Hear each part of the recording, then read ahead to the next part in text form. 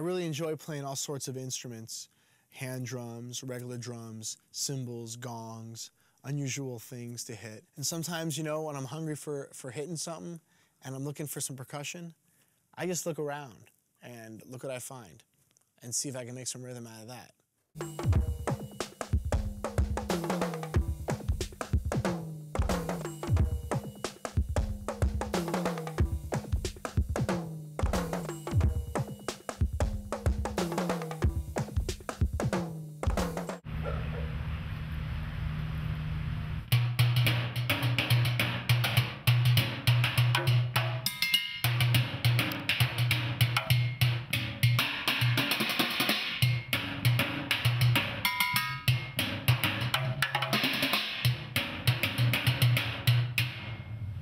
Trash Can Alley.